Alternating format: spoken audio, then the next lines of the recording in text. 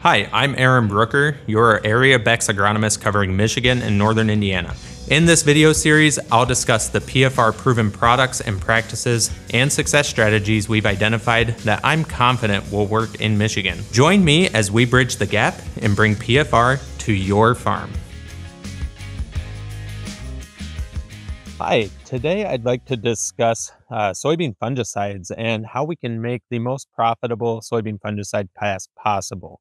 And in Michigan and northern Indiana, we really don't deal with too many foliar diseases except for a few pockets here and there. Um, so we're really targeting that plant health component of a fungicide application and trying to make these passes profitable.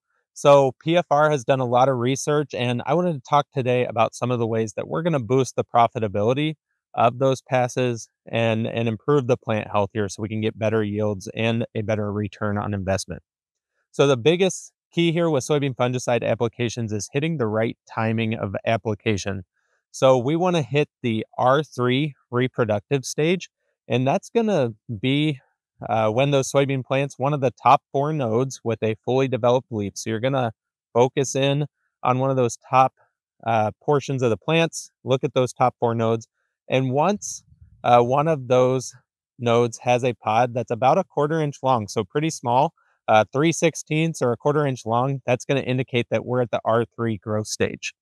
And that's going to last roughly 10 days or so, um, but for about 10 days until those pods at one of the four top four nodes reaches about three quarters inches in length. So uh, again, we've got a 10 day window, give or take, to get these applica- applications made at the proper time. Now, the reason for that uh, it's it's not fully known, but uh, the theory is is that they're uh, the middle portion of the plant uh, by the end of the season. That middle portion of the plant is what we're actively spraying there at that R3 time frame, and that's going to be where quite a bit of our yield is coming from. So we're actually spraying that fungicide and driving a lot of plant health there um, at that time frame when the middle of the plant, when a lot of that yield is being uh, determined in that plant's growth stage. So driving improved plant health uh, for later in the season. Now, the next critical thing is going to be uh, how we're making that application and the carrier rate that we're using. So making sure that we get proper coverage on these leaves to get the full effect of these fungicides. Uh, these fungicides don't move very well throughout the plant, so we want to get as good of coverage as we can.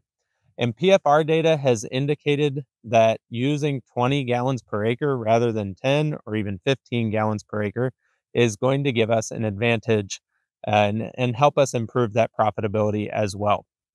So make sure you're using the right carrier rate. Uh, again, we want to make sure we're spraying at the right time of that plant's life cycle. And then another small thing that we can do, or at least should be able to do on some of our fields, is spraying at a certain time of day. And so we have a time of day study where we sprayed at 8 a.m.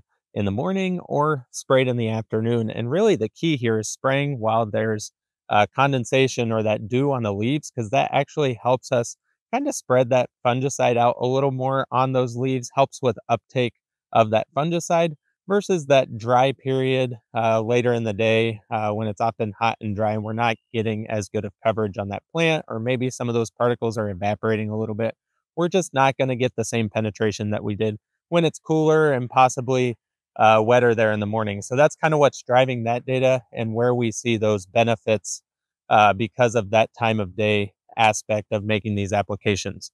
So again, the three big keys are going to be spraying at the right time frame. Again, that 10 day window or so when we're at the R3 growth stage. And keep in mind, uh, not all of our fields may reach that at the same time and we might be past that on at some fields even though we think a lot of our fields might be ready to spray. The second thing again is going to be that carrier rate using that 20 gallons per acre and then again the third thing is going to be that um, time of day aspect and again you're not going to be able to spray every acre in the morning but as much as possible trying to spray when we've got that leaf wetness when it's a little cooler out there those plants are going to respond a little better the final thing I wanted to talk about, especially given the season that we've had, we've had a lot of late planting this year, uh, planting a little later than we'd like to at least. And we have data on spraying a an early planted crop versus a late planted crop with a fungicide and the difference there. And so as I throw this data on the screen, you can see the huge benefit to spraying those late planted crops. Now we see a benefit across any application, whether it was to an early planted crop or a late planted crop, but that late planted crop really jumps in that profitability. Now, there could be a few reasons for this. One is that we're able to drive uh, seed size a little more in a late planted crop. We don't have quite as many pods and as many seeds out there that we would with that early planted crop. And maybe we're driving a little bit more seed size with an application like this.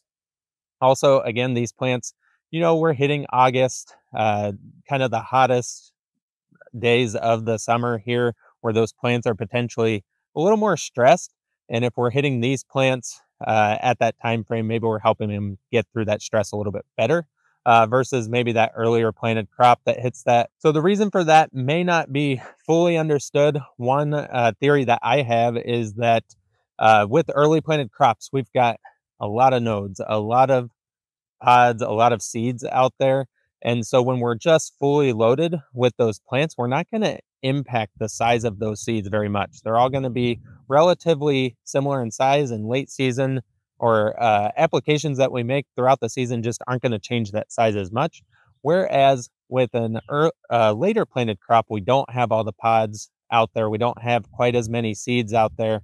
And so, are we able to influence the size of each of those seeds by improving the plant health? So, uh, nothing's proven there. It's just a theory that I have to try to explain what's going on in this data. But regardless, we do see a clear advantage to spraying these late planted crops. Um, so, as I think about which fields I'm targeting, uh, again, I think we can make money by spraying at R3 with any crop, but if I was just going out and spraying a few fields or something like that, I would target those late planted fields because we do have a little more uh, profitability that we can drive on those fields by making a fungicide application. With that, if you have any other questions, uh, feel free to reach out uh, with any of these fungicide applications on your soybean crop. I'd be happy to help.